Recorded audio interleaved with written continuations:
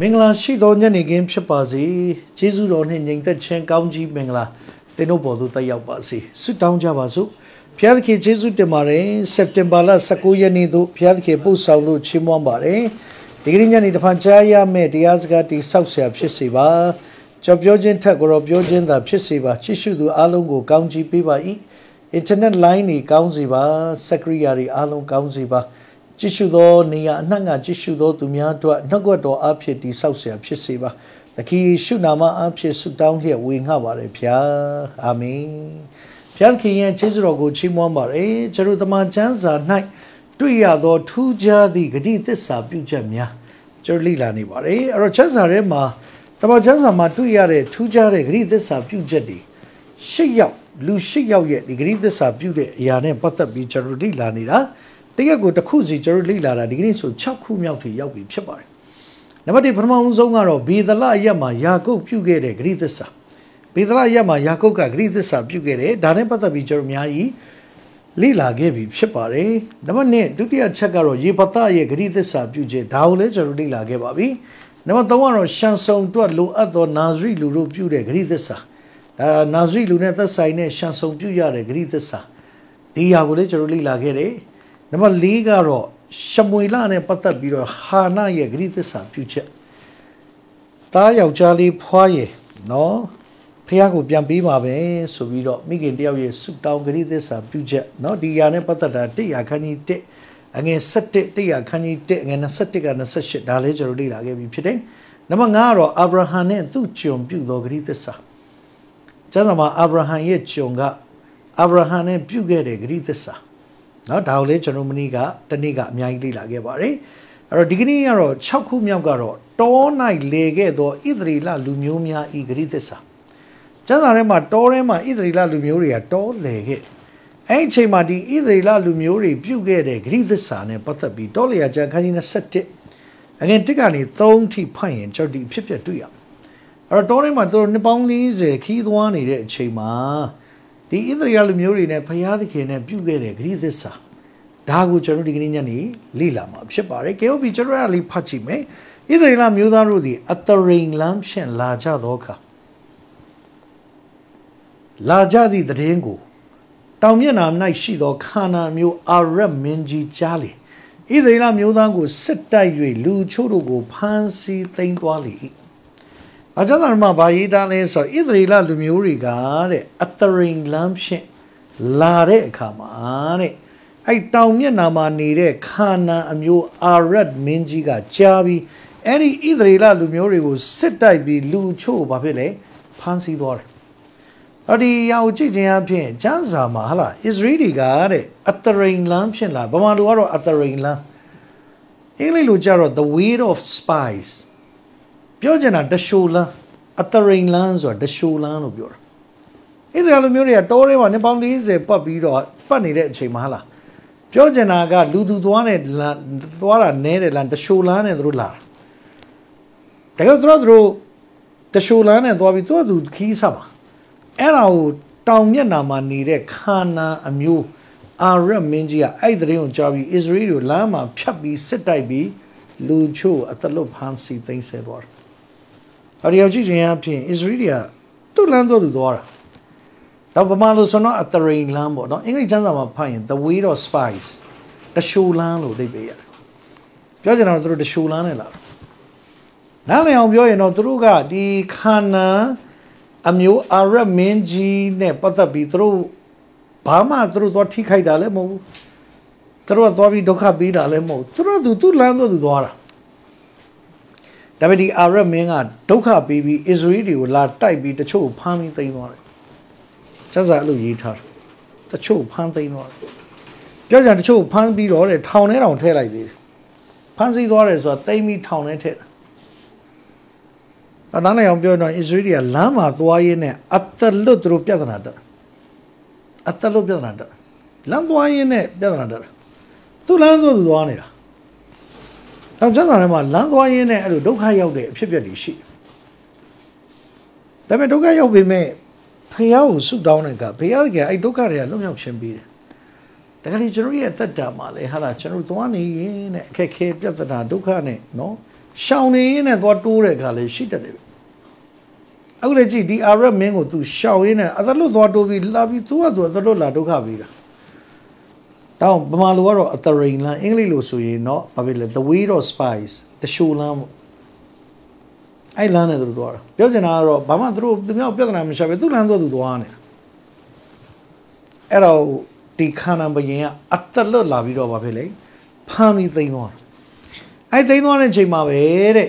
ဣသရေလမျိုးသားတို့ကကိုရောဒီဤလူမျိုးကိုကျွန်ုပ်လက်သို့ကျွန်ုပ်တို့လက်သို့အပ်တော်မူလင်သူတို့မြို့များကိုရှင်းရှင်းဖြတ်စည်းပါမည်ဟုထာဝရဘုရားကိုသစ္စာဂတိပြု၏ အဲ့ချိန်မှာပဲဣသရေလတွေကတဲ့ဘုရားသခင်ကိုဆုတောင်းတယ်ဘုရားသခင်တဲ့အဲ့ဒီလူမျိုးတွေကိုကျွန်တော်လက်ထဲကိုကိုတော့အပ်ရင်တဲ့အဲ့ဒီသူတို့မြို့ရွာတွေကိုရှင်းရှင်းဖြတ်စည်းပြီးတော့ဖြတ်စည်းမယ်ပြောချင်တာအပိရှင်းမယ်ဆိုပြီးဘုရားကိုဂရိသစ္စာပေးတယ်ဘုရားသခင်ကျွန်တော်တို့လက်ထဲကိုတဲ့အပ်မယ်ဆိုရင်ဘုရားသခင်ကျွန်တော်တို့ကိုအဲ့ဒီရန်သူတွေကိုကျွန်တော်တို့လက်ထဲအပ်မယ်ဆိုရင်အဲ့ရန်သူနဲ့သက်ဆိုင်တဲ့အရာကျွန်တော်တို့အကုန်လုံးပါပဲလေရှင်းရှင်းဖြတ်စည်းမယ်သစ္စာဂရိပေးတယ်တ ကယ်တော့သူတို့ကသူ့လမ်းသွားသူသွားတာဒါကျမ်းစာထဲမှာဒီလမ်းသွားနေရင်းနဲ့အဲ့လိုသွားပြီးကြုံတွေ့ရတဲ့အဖြစ်ပြက်တွေထဲမှာထူးခြားတဲ့ဖြစ်ပြက်၃ခုပြောချင်တယ်နံပါတ်1ပရမတစ်ခုကတော့ထွန်းမြောက်ဂျာခန်းကြီး18အငယ်8ကနေ14ဒီဖိုင်ဣသရေလလူမျိုးတွေအဲ့လိုပဲသူတို့သူတို့တောထဲမှာနှစ်ပေါင်း40သူသွားနေရင်ねဟာလားနော်ပြောချင်တာတော့ဒီတောလေတောထဲမှာလဲပြီးနောက်ဆုံးမှာခန္ဓာဘီဝင်ဖို့သူတို့သွားတဲ့ချိန်မှာအာမလက်လူမျိုးတွေသူတို့လာစစ်တိုက် တိုက်တဲ့ချိန်မှာပဲဘုရားသခင်ကပြောတယ်မောရှေမောရှေတဲ့မင်းဘာလုပ်ရမလဲမင်းတောင်ပေါ်တက်တဲ့နော်မင်းတောင်ပေါ်တက်ပြီးတော့တောင်ပေါ်ကနေမင်းလက်မြောက်ပြီးဆုတောင်းတဲ့ယောရှုနဲ့ဣသရေလကိုအောက်မှာစစ်တိုက်ခိုင်းအဲ့ချိန်မှာမောရှေအာယုန်ဟူရာဘာလို့တောင်ပေါ်တက်သွားတယ်တောင်ပေါ်မှာမောရှေလက်မြောက်ပြီးဆုတောင်းတော့မောရှေလက်မြောက်ရင်စစ်နိုင်မောရှေလက်ချချရင်စစ်ရှုံးကျန်းစာလို့ရေးထားတယ်တရားသူတို့ကသွားရင်းနဲ့ပြဿနာတက်တာ ဒါပေမဲ့သွားရင်းနဲ့ဒီအမလလူတွေသူတို့အသလို့စစ်တိုက်ပေမဲ့အဖြေကဗမာရှိတောင်ပေါ်မှာဆုတောင်းခြင်းမှာအဖြေရလို့ဒီဒီလောကကြီးမှာသွားနေရင်လည်းရုတ်တရက်အခက်ခဲဝင်လာရင်လေကျွန်တော်ဆုတောင်းခြင်းဖះကိုလက်မြောက်တယ်ဆိုတာကအရှုံးပေးခြင်းဖះသခင်ကျွန်တော်ကိုရောရှိမှရှုံးပေးတယ်လို့ဝန်ခံခြင်းပေါ်မှာတော့အဖြေပြန်ရတော့ကျမ်းစာမလို့ပြောလဲဆိုမောရှိလက်မြောက်ရင်နဲ့ဆက်နိုင်တယ်မောရှိလက်ချရင်ဆက်ရှုံးတယ်အစပွဲရဲ့ဖြေအောက်မှာမရှိအပေါ်မှာရှိတောင်ပေါ်မှာရှိ ဒါဟာလာထုံးမြကြံခန်းကြီး18အငယ်8ကနေ14ထိဖိုင်တွေ့ရဒါအမလက်လူမျိုးတွေနဲ့စစ်တိုက်တဲ့ကိစ္စဒါပေမဲ့အချိန်မှာတဲ့မောရှိလက်ညောင်းတဲ့ကြောင့်စစ်ရှုံးမှာဆိုလို့အာယုံနဲ့ဟူရာမောရှိလက်ကိုတယောက်တစ်ဖက်စီမှပြီးနေဝင်သည့်တိုင်အောင်မြောက်ပြီးဆုတောင်းတဲ့အခါမှာသူတို့နိုင်သွားတယ်ဒါသွားရင်းနဲ့ဖြစ်တာအခုလည်းဒါသူတို့သွားရင်းနဲ့အာရမင်းကအသလွတ်ကြီးသူတို့ဝင်ဖမ်းပြီးတိန်သွားတာအဲ့ချိန်မှာပဲအစ္စရေးကဘာဆုတောင်းဖျက်ခင်တဲ့ကျွန်တော်တို့ကိုတဲ့ ဒီအာရမင်းကြီးကိုနိုင်စီမယ်ဆိုရင်သူနဲ့သက်ဆိုင်တဲ့မြို့ရွာအားလုံးကျွန်တော်အကုန်ရှင်းမယ်သူသစ္စာဂရိပြုတယ်အခုကျွန်တော်ကဂရိသစ္စာလေ့လာတယ်ကျွန်တော်တို့ပြီးအကုန်ရှင်းမယ်ဘာလို့ကမယူတဲ့သူတို့ရှာဘာဖြစ်စမှမယူချင်ဘူးတဲ့တောက်ကုနာလည်းဟာလာအမလက်လူမျိုးတွေနဲ့တွေ့တဲ့အခါမောရှေကိုဘုရားသခင်ကလက်မြောက်ပြီးဆူတောင်းခိုင်းတယ်စစ်နိုင်တယ်ပြောချင်တာဖះနဲ့ပတ်သက်ပြီးဖះသခင်နဲ့သူတို့ တိုင်ပင်လိုက်တဲ့အခါအဲ့သွားပြီးတွေ့တဲ့အခက်ခဲကသွတ်သူပြေးလေသွားတာဟောဒီကအရေးကြီးတာကျွန်တော်ကနေ့ရက်စင်တိုင်းဘယ်သူနဲ့တိုင်ပင်ဖះသခင်နဲ့အဲ့ဖះသခင်နဲ့တိုင်ပင်ခြင်းပုံမှာဖះအလုပ်လုပ်တယ်ဆိုတွေ့ရတယ်တွေ့ရတယ်ဒါကြောင့်ဦးလဲဟာလားဣသရေလကပြောတာဟာကျွန်တော်တို့ဗျာတဲ့သူ့နိုင်ရင်ဒီဘယုံနိုင်ရင်တဲ့ကျွန်တော်အဲ့လူတွေအဲ့ဒီမြို့တွေအားလုံးရှင်းရှင်းဖြတ်စည်းမယ်ကျွန်တော်သစ္စာဂရိပြုတယ် တကယ်ပါပဲဘုရားသခင်တို့အဲ့လိုဆုတောင်းတဲ့အခါဘုရားနိုင်စီတယ်ကဲအဲ့ဒါလေးမပြောခင်မှာပဲကဲခုနကတော့ဟာလာလမ်းမှာသွားရင်အခက်ခဲဖြစ်တဲ့နံပါတ်1တစ်ခုကဘာလဲအာမနလူမျိုးတွေနဲ့သူစစ်တိုက်ရနိုင်တယ်နံပါတ်2ဒုတိယတစ်ခုကလုကာခန်းကြီး16ငယ်17က19မှာလုကာ16 17က19မှာတကယ်ရွှေယေရုရှလင်မြို့သွားတဲ့အခါယူဒပြည်နဲ့ရှမာရိပြည်ဆက်ကြားမှာလူနူတစ်ချိန်နဲ့သွားတွေ့ဒါလမ်းမှာသွားစေအလူနူတစ်ချိန်ကတကယ်ရှုနဲ့သွားတွေ့တာသူတို့လည်းလမ်းမှာသွားစေတကယ်ရှုနဲ့သွားတိုးတာ အဝေးကနေရက်ပြီးဟာကျွန်တော်တို့ကဲပါလို့អော်တဲ့အခါတကယ်ရှုပါပြောမင်းတို့ဂျပရိရှိသွားပြရအဲ့ချိန်မှာမင်းတို့ဂျပရိရှိသွားပြကျန်တာဘာပြောထားလဲဆိုတော့သွားစဉ်တန်ရှင်းချင်းရောက်အပြောချင်တာဂျပရိရှိရောက်လို့ပြောက်တာမဟုတ်သွားနေရင်းနဲ့ကြားမှာသွားတာဘယ်သူအမိန့်ပါလို့တကယ်ရှုအမိန့်ပါလို့တော့တကယ်တော့လူလူတွေလည်းဘဝမှာသူတို့ဆုံးရှုံးနေတာပဲသူတို့ဘဝမှာဆုံးရှုံးနေတာသူတို့ဘဝမှာအခက်အခဲဖြစ်နေတာဒါပေမဲ့တခီရှုမိတ်နဲ့သွားရင်းနဲ့သူတို့အစစ်ပြီးသွားတာ ခရစ်တော်မိတ်နဲ့သွားနေရင်းနဲ့သူတို့အစစ်ပြီးတယ်အော်ဒီကနေ့အားပေးချင်ပါတယ်ကျွန်တော်တို့လောကမှာအခက်အခဲဘယ်လောက်ရှိရှိဘုရားမိတ်နဲ့သွားရင်းနဲ့ကိုအဖြစ်ရပါဖြစ်တယ်ရှိနေတယ်နှုတ်ကတော်နဲ့သွားနေရင်းနဲ့အဖြစ်ရှိတယ်ဒါကြောင့်ဟာလားတမန်ကျမ်းစာကူးရေးပြိုင်ပွဲအတွက်ဟာလားတမန်ကျမ်းစာကူးရေးနေတာဝမင်္ဂလာရှိတယ်အာမင်တမန်ကျမ်းစာကိုကြည်ဖတ်ရေးစင်ကျင်နားထောင်အဲ့ဒါဝမင်္ဂလာရှိတယ် တော့ကျွန်တော်အသင်းတော်ကနေပြုလုပ်တဲ့တမန်ကျမ်းစာကူးရေးပြိုင်ပွဲမှာဟာလားကူးရေးတာကူကကောင်းကြီးရှိတယ်စုရခြင်းမရခြင်းတဲ့အဓိကရေးနေတာဟိုကကောင်းကြီးဖြစ်နေတာတမန်ကျမ်းစာကိုဆင်ကျင်နေတာဟိုကကောင်းကြီးဖြစ်တာ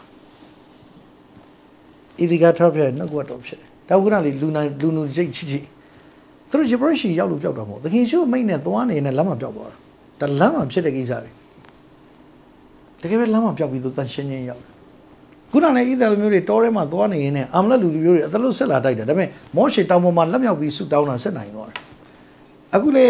ဟာလာလူနူတွေတခင်ရှုမိတ်နဲ့သွားနေနဲ့လမ်းမှာပျောက်သွားတယ်။နောက်တော့တတိယချက်ကတော့ဘာတွေ့ရလဲဆိုတော့လိယခန်းကြီးငါတစ်ကနေသုံး405တက်ကနေ3မှာဟာလားဒီရှုရိပီကနော်ရှုရိတက်ကတဲ့ ဣသရေလမိန်းကလေးတယောက်သူ့ဟာသူလမ်းလျှောက်တာကိုအသလွတ်ဖမ်းပြီးနေမအိမ်ကိုပို့လိုက်ဒါလမ်းမှာသွားရင်လည်းပြဿနာတက်တာအခုကျွန်တော်ဒီလာတာလမ်းမှာသွားရင်လည်းအစ္စရေးတွေကိုဟာလားအာရတ်မင်းကြီးကအသလွတ်ဖမ်းပြီးတော့တိန်သွားတာဒါနဲ့ပတ်သက်ပြီးလမ်းမှာဖြစ်တဲ့ပြဿနာကိုကျွန်တော်ပြောနေတာအာမလလူမျိုးတွေနဲ့လမ်းမှာတိုက်ခဲ့ရတယ်ဒါပေမဲ့မောရှေလက်မြောက်ဆူတောင်းနေနိုင်တယ်တခိရှုဟလာလူနူတကြိတ်နဲ့လမ်းမှာတွေ့တယ်တခိရှုအမိတ်နဲ့ပြေးတာဘာဖြစ်လဲပျောက်သွားတယ်နောက်ဒီရှမာရိ sorry ဒီ ဣသရေလမိန်းကလေးသူ့သူလမ်းလျှောက်တာဒီရှုရိတက်ကဘာလို့လားအတလွတ်ဖားတာလေအတလွတ်မှာတကယ်အတလွတ်ကြီးဖားတာအဲ့နောက်ဆုံးသူအတလွတ်ဖားတဲ့အခါမှာဒီမိန်းကလေးကလည်းဘာမှမပြောပါဘူးဒီမိန်းကလေးဘာမှမပြောဘူးဘာမှမပြောဘဲနဲ့အဲ့နေမအိမ်မှာပဲသူကြုံခံပြီးနေမမိန်းမကိုသူဘာပြောလဲရှမာရိပီကိုသွားလိုက်ပါတဲ့နေမအနူပြောက်သွားမယ်တခင်အနူပြောက်တကယ်ပဲဒီမိန်းကလေးညောင်တဲ့တိုင်းသွားတာ နေမအနူပြောက်တယ်အဲ့တော့ယောက်ကြည့်ချင်အဖြစ်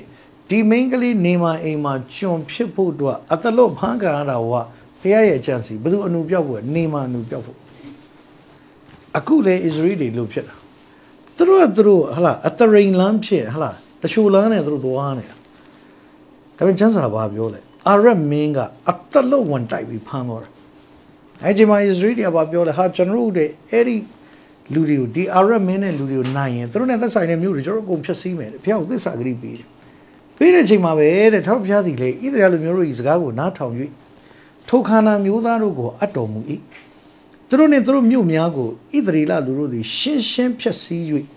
ထိုရက်ကိုဟောမာအမိဖြင့်သမုတ်ချ၏အာမင်အဲ့တော့ဖျက်ခင်ရတဲ့ဒီ Israeli ရဲ့စကားကိုနားထောင်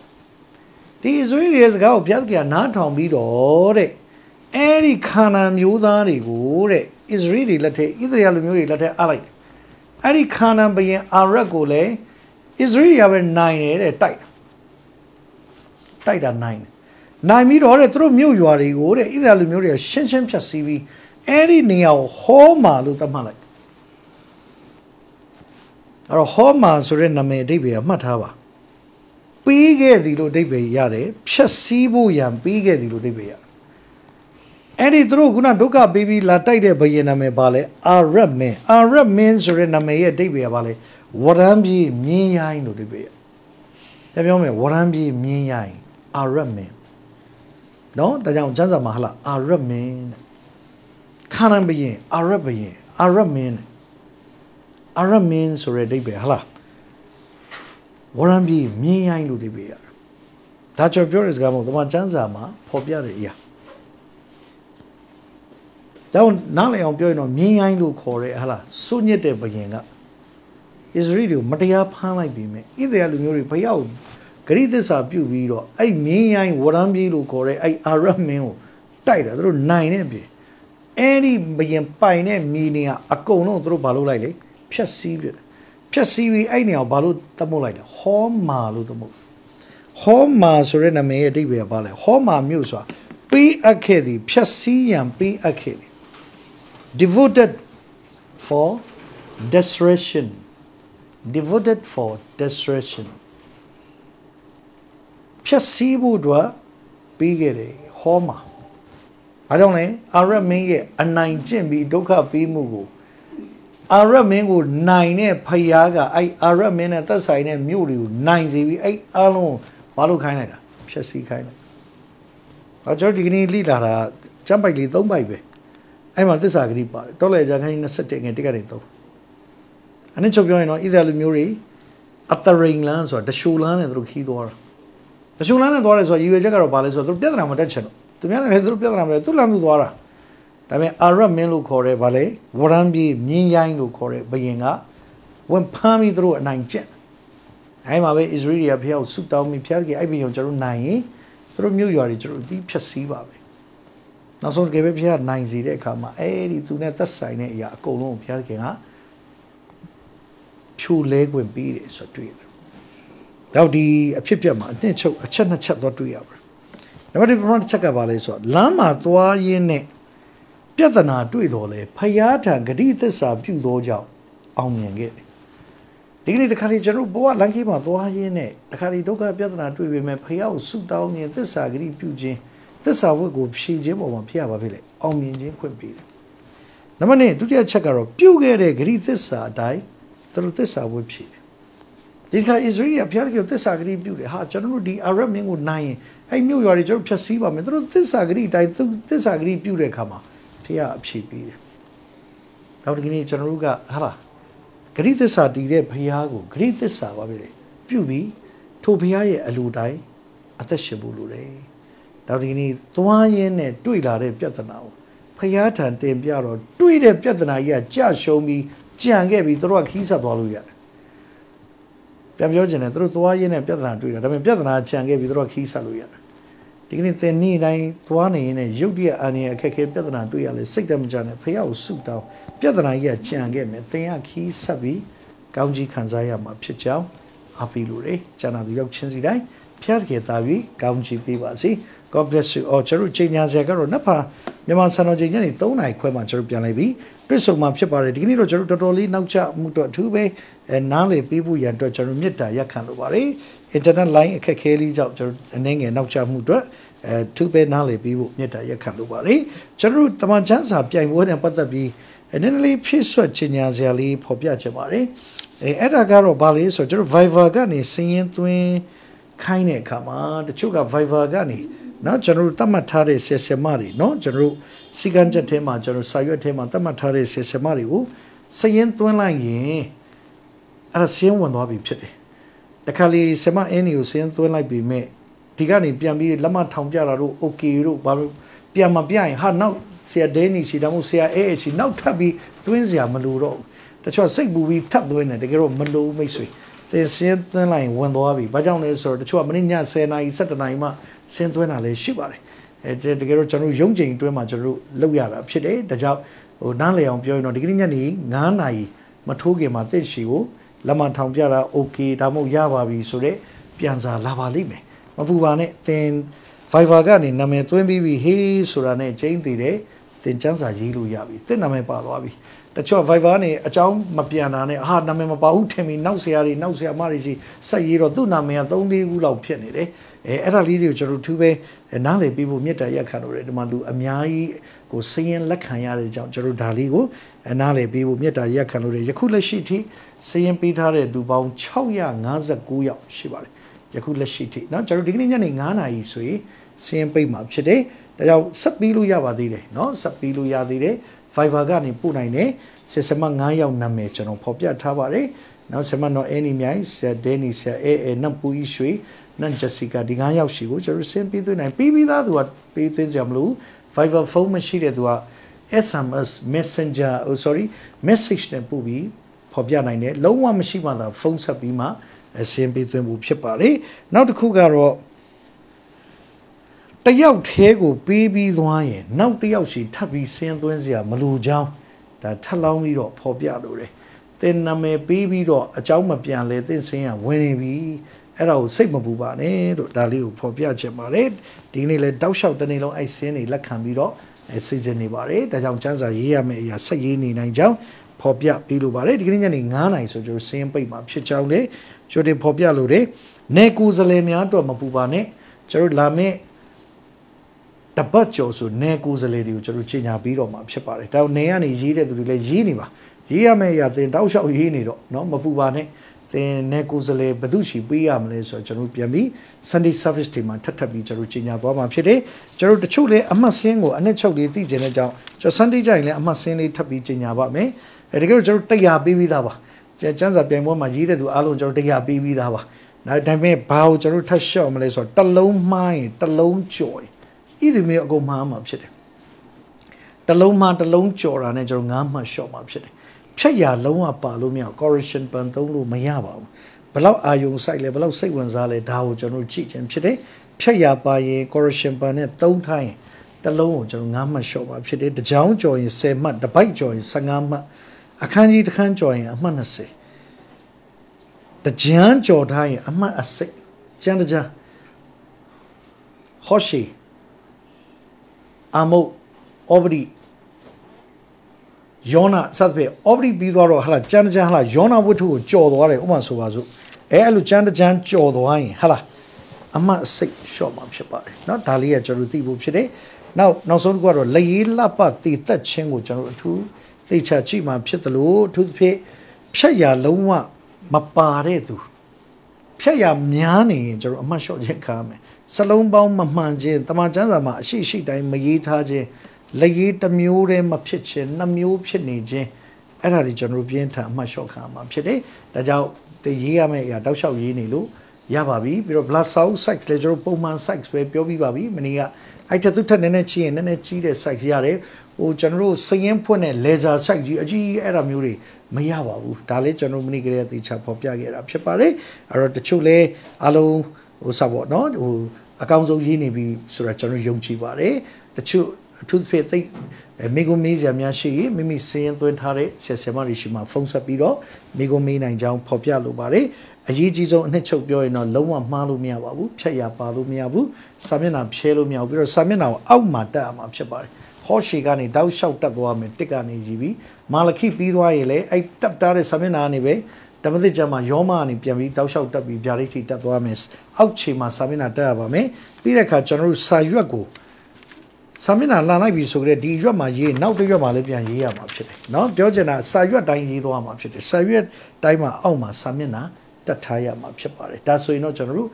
ပြည့်စုံပြီလို့ယုံကြည်ပါတယ်တချို့လည်းအဲသူဖြစ်နားမလဲတာများရှိရင်မိမိသက်ဆိုင်ရာစည်ရင်ပြီးသွင်းထားတဲ့ဆရာမတွေရှိမှဖုန်းဆက်ပြီးမိနိုင်ကြောင်းဖော်ပြလိုပါတယ်အထူးသဖြင့်ပြိုင်ပွဲဝင်သောသူများဒီကနေ့နှက်ကွက်တော်နာထောင်သောသူများအားလုံးကိုကျွန်တော်ထူးပဲကျေးဇူးတင်ပါတယ်ဒီကနေ့အနေငယ်နောက်ကျမှုအင်တာနက်လိုင်းကြောင့်နောက်ကျမှုအတွက်အနေငယ်နားလေပြီးဖို့ရမြတ်တာရက်ခံလိုပါတယ်ကြည့်ရှုခွန်အားယူသောသူအားလုံးကိုဖျားတဲ့သာ၍ကောင်းချီးပေးပါစေ God bless you အော်ကျွန်တော်ကိုယ်စလဲများကိုလည်းမနစ်ကကိုယ်စလဲတွေကိုလည်းကျွန်တော်ဒီတပတ်တွင်းမှာပဲပြန်ဆက်သွယ်မှာဖြစ်ကြောင်းလည်းဖော်ပြပေးလိုပါတယ်နေသမားများရန်ကုန်ကနေဖြည့်တော်သူများတနိုင်ငံလုံးကနေပြီးတော့ကျန်းစာဖြည့်နေတဲ့သူများပြပကနေဖြည့်နေတဲ့သူများရေးနေတဲ့သူတွေအားလုံးဘုရားသခင်ကောင်းချီးကြီးကြီးပေးပါစေဆွတောင်းကြပါစို့ဘုရားသခင်ကျေးဇူးတင်ပါတယ်ဒီကနေ့ယေရှုသူအားလုံးရဲ့နှလုံးသားမှာနှုတ်ကပတ်တော်အမြင့်ဆွဲစေပါဒီဆောက်ဆရာဖြစ်စေပါ ဖခင်ရဲ့လက်တော်အားလုံးကိုစောင့်ထိန်တော်မူပါအထူးသဖြင့်ဒီကနေ့မွေးနေ့ကြောက်ရောက်တဲ့ဒေါက်ကိုင်ဆန်းကိုကောင်းချီးပေးပါ၏ဒီကနေ့ကြောက်ရောက်တဲ့မွေးနေ့မှာဒီနှစ်ပေါင်းကာလအစမြဲသခိကိယနာကောင်းချီးကာလအစမြဲတက်ရောက်စေပါအသက်50မှဒီဖခင်ရဲ့ကိယနာလက်တော်စောင့်ထိန်ပါကျမ်းမာခြင်းငြိမ်သက်ခြင်းဝမ်းမြောက်ခြင်းကောင်းစားခြင်းနဲ့ကာလအစမြဲပတ်ရပါအထူးသဖြင့်ကရတာဆောဆိုင်မွန်ဖုံကောင်းချီးပေးပါဒီကနေ့ကြောက်ရောက်တဲ့မွေးနေ့မှာဖခင်သခင်ဤသားတို့ဝမ်းမြောက်စရာကောင်းကြီးခံစားရစေပါ မိဘများအတော်ဦးလေးညီကိုမောင်နှမများတို့ဝမ်းမြောက်ဖွယ်ရာနဲ့အကောင်းကြီးဖြစ်စေပါဂရောသူဖြစ်ဖဖျားအာဒီကနေ့မွေးနေ့ရှင်အားလုံးကောင်းကြီးပေးတယ်ဒီကနေ့မင်္ဂလာနေ့ပါလေကြောက်တော်သူအားလုံးကောင်းကြီးပေးတယ်သူဖြစ်ကျမ်းမာခြင်းအားနေတဲ့မဆဆဝင်းတာ၍ကျမ်းမာစေပါအထူးဖြစ်ကျမ်းမာခြင်းအားနေတဲ့သူတွေအကုန်ကျမ်းမာစေပါအန်တီဘေဘီတာ၍ကျမ်းမာစေပါပြုစုသောဆမတန်တန်အေးကရောဥမမောင်တော်တို့မိသားစုတွေအားလုံးပေါ်မှာသာ၍ကောင်းချီးပေးတော်မူပါတစ်ဖြစ်တော်ရင်ရင်အေး ဖျားသခင်ကောင်းချီးပေးပါနှုတ်ကပတ်တော်ခံယူလျက်ဖျားကောင်းမြတ်ကြောင်းဝန်ခံခြင်းပေါ်သိလျက်ရှာနဲ့ကောင်းချီးပေးလျက်ချမ်းမာခြင်းဝမ်းမြောက်ခြင်းငြိမ်သက်ခြင်းနဲ့ဘာရပါဖျားရဲ့ကိနာလက်တော်သည်မြန်မာပြည်နဲ့ကဘာကြီးကိုစောင့်ထိန်ပါအထူးသဖြင့်ကျွန်တော်ချမ်းစာကူးရေးပြိုင်ပွဲမှာကြည်ကူးရေးပြီးတော့ဖျားကောင်းမြတ်ကြောင်းကိုနှုတ်ကပတ်တော်အားကအားဖြင့်ဝန်ခံနေကြတဲ့ဓမ္မပရိသတ်အားလုံးကိုကောင်းချီးပေးတယ်မြန်မာပြည်နဲ့တကမ္ဘာလုံးကနေရှင်ပြိုင်တော်သူအားလုံးကိုကောင်းချီးပေးတယ်ခွန်အားပေးတော်မူပါသမာကျမ်းစာရေးတာကိုကမင်္ဂလာပါ မင်္ဂလာကမင်္ဂလာထဲမှာမင်္ဂလာရှိဆုံးသောအရာကိုလှုပ်ချင်းကြောင်းထိုသူတို့ရေးနေတဲ့သူတိုင်းရဲ့မိသားစုတို့ဖခင်ရဲ့လက်တော်သည်စောက်ထိန်ပါမြန်မာပြည်နဲ့ကမ္ဘာကြီးမှာယောဂါတွေပြဿနာတွေဒုက္ခတွေကင်းဝေးစေပါဒီကနေ့မွေးနေ့ကြောက်သူမင်္ဂလာနှစ်ပတ်လည်ကြောက်တော်သူဘုံတော်ဝင်စားတဲ့သူတွေရဲ့ကြက်ရှိတဲ့မိသားစုတွေမှာစာအလုံးပေါ်မှာဖခင်ရဲ့လက်တော်စောင့်ထိန်တော်မူပါသူဖြင့်ဥပေါ်လူဖဖျားဤသားကြီးခံစားရတဲ့ဝိနာ ပျောက်ကင်းလျက်သား၍ကျမ်းမာစေပါယနေ့ဆုတောင်းတာနေအလုံးနားကြောင့်မာမိကြောင့်ခမီတော်သားတော်တရှင်တော်ဝိညာဉ်တော်သုံးပါးဆုဖျားထံတော်ပါမှကျမ်းမာခြင်းငြိမ်သက်ခြင်းလုံခြုံခြင်းကွယ်ကာခြင်းကိတာကောင်းကြီးဖြာဖြာတို့သည်ကြည့်ရှုတဲ့ဓမ္မပရိသတ်များနဲ့တကွမြန်မာပြည်ပေါ်သို့ကာလအစဉ်မြဲတက်ရောက်တည်ရှိတည်နေပါစေသောအာမင်ကျေးဇူးတင်ပါတယ်ကြည့်ရှုခွန်အားယူတဲ့ဓမ္မပရိသတ်အားလုံးကိုဖျားခင်သာ၍ကောင်းချီးပေးပါစေငြိမ်သက်ခြင်းရှိပါစေ God bless you all